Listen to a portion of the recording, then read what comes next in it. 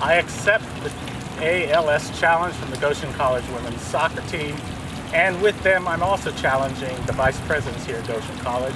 I personally want to challenge my friend, the longtime mayor of the city of Goshen and a longtime Goshen College alum, the Honorable Allan Kauffman.